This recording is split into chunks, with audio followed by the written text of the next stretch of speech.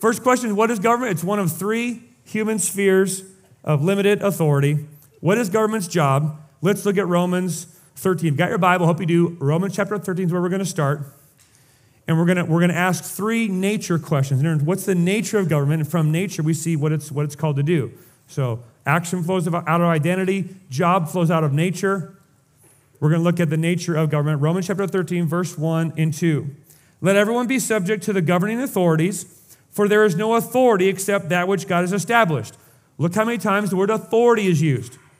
The authorities that exist have been established by God. Consequently, whoever rebels against the authority is rebelling against what God has instituted, and those who do so will bring judgment on themselves.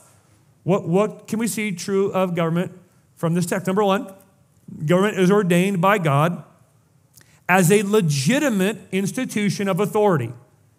So Christians are not scofflaws. We're not libertarian anarchists. We're not, you know, you know, don't tread on me, get out of my life, libertarians. No, no, no. We, we acknowledge that the government has a limited, um, ordained obligation to, in some ways and at some times, tread on its evil citizens. So we're not scofflaws here, okay? Ordained by God as an institution is government. Let's keep reading. Verse 4 For the one in authority is God's servant for your good. But if you do wrong, be afraid, for rulers do not bear the sword for no reason.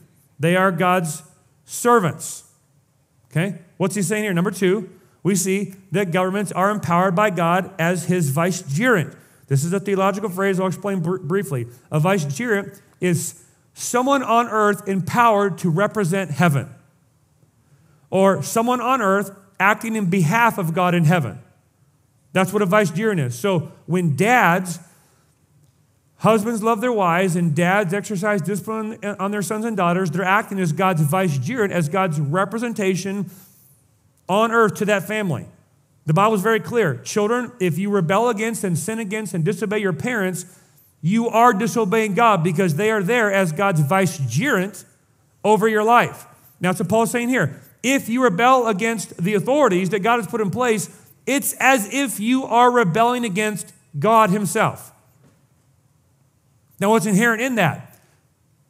Don't miss that those who are in authority, as placed there by God, are also to be submitted to God themselves. That's the part that, for whatever reason, the American church has failed to understand.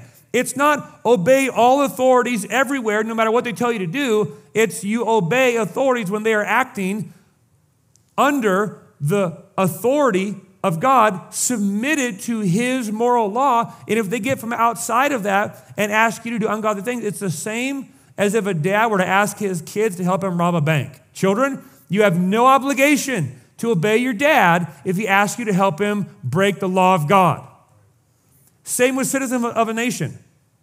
If, if those in quote unquote authority move themselves out from underneath God's authority, they have become illegitimate authority. And they should not be submitted to, nor honored. They should be confronted and called to repent.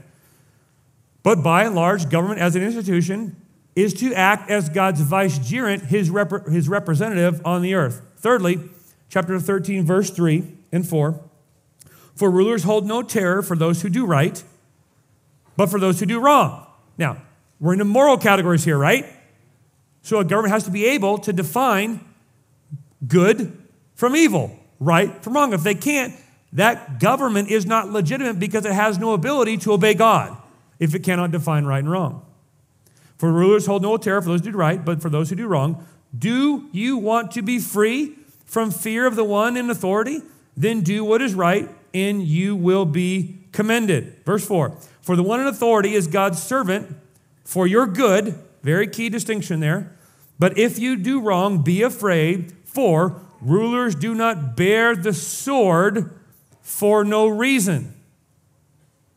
They are God's servants agents of wrath to bring punishment on the wrongdoer. Now, there we see, we get to the explicit point that God gives governments. They are to be his agents of wrath, which means if you violate the moral law of God and you do so in such a way to bring harm on those in society around you, God has set up governments to hunt you down, check you, and take you out.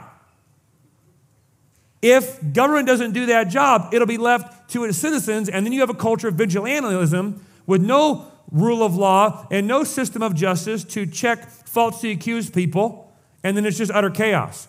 So God sets up a law and justice system, and we'll look, look next week, we'll look at is, is our nation a Christian nation? And I'm going to show you explicitly how many things that have caused our nation to flourish come right from the Bible but if you don't have a law and justice system that's built on truth and then empowered agents of God, as in the government, to pursue evildoers and bring them to justice, you will have a nation overrun by evil. Which means the, uh, the last nature of government is that they are an agent of God's wrath as a minister of justice. Hey, everybody, Pastor Josh here. If you enjoyed that clip, you can check out the full sermon right here.